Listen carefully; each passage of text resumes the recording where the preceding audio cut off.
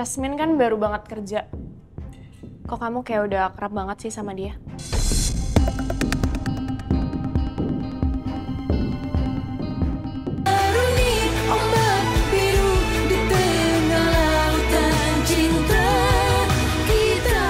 Aku bisa tinggalin mobil aku di sini.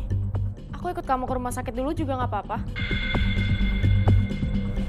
Aku pulang sendiri aja dok. Makasih buat bantuannya. Y- Yasmin, Mereka kayaknya akrab banget. Besok aku akan tanya ke Yasmin. Ada hubungan apa dia sama Romeo?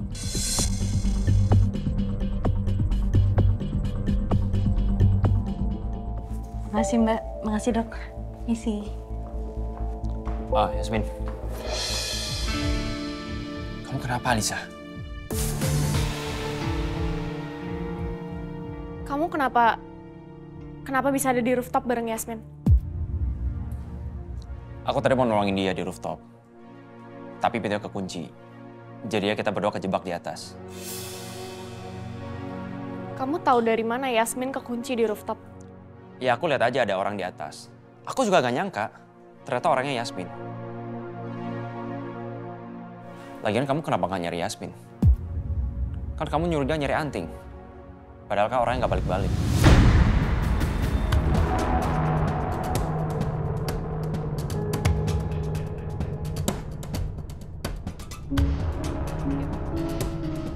Karena aku lupa, aku aku terlalu banyak urusan lain jadi aku lupa sama Yasmin.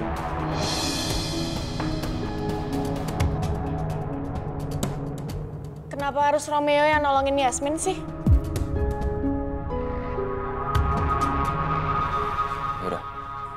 Aku harus ke rumah sakit sekarang. Kan aku pulang bareng kamu. Tapi kita makan dulu, aku lapar banget. Aku nggak bisa, Alisa. Kerjaanku masih banyak. Itu semua kepenting gara-gara aku kekunci di atas rooftop. Ya kan kerjaan kamu bisa kamu lanjutin besok. Ya, kita makan dulu ya please. Yuk. Yuk.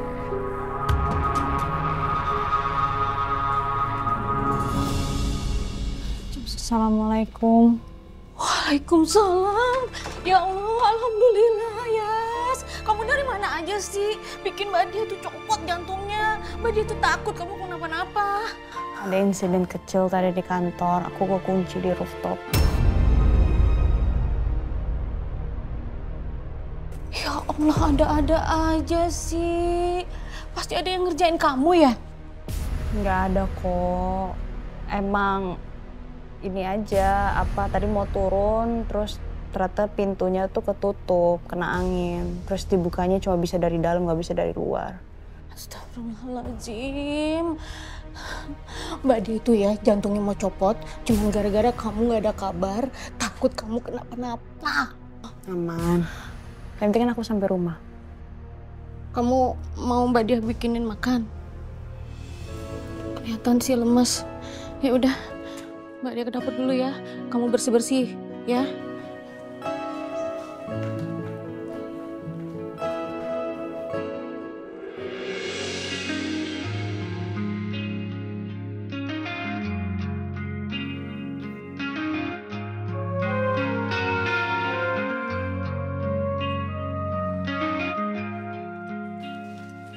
Nungguin aku ya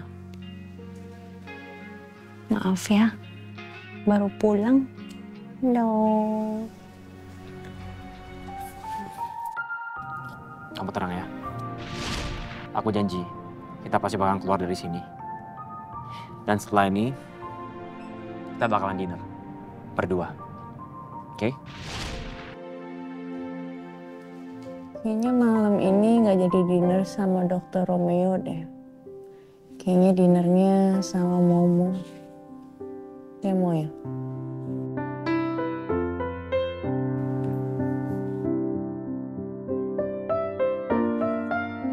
Romeo.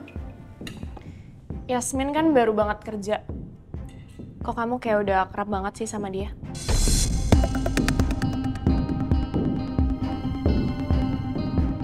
Aku kenal sama Yasmin udah lumayan lama. Sebelum dia kerja sama kamu. Dulu, almarhumah ibunya itu pasien aku. Jadi, kita lumayan sering ketemu. Pas Yasmin bawa ibunya berobat. Tapi kamu nggak suka sama dia kan?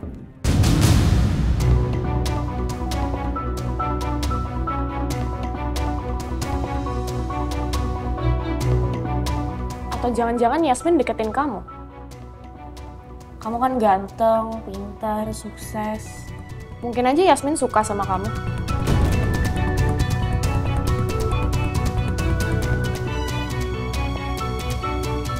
Seandainya Yasmin deketin aku, pasti aku jadi laki-laki paling bahagia. Aku memang mencintai Yasmin, tapi aku belum siap nyatain perasaanku ke Yasmin. Aku juga nggak mungkin bilang ini ke Alisa.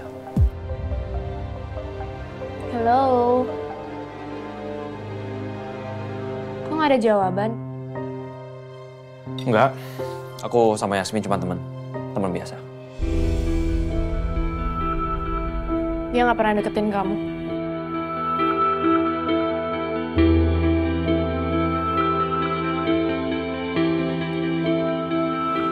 Ya, nggak mungkin juga kamu suka sama cewek low class kayak Yasmin.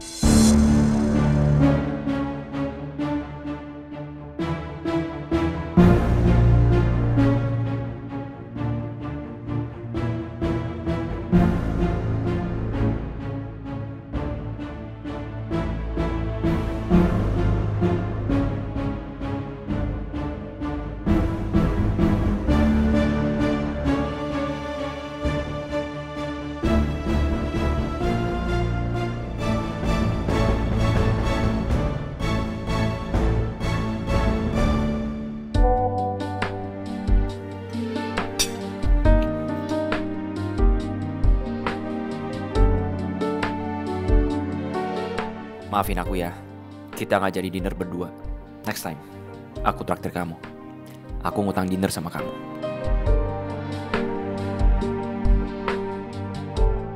Bener ya, aku tunggu.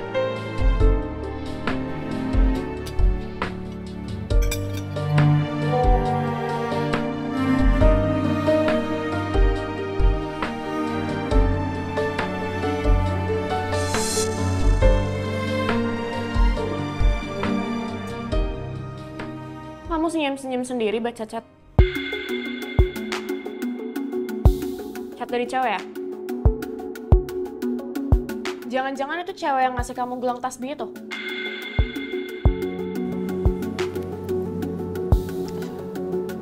Apaan sih kamu?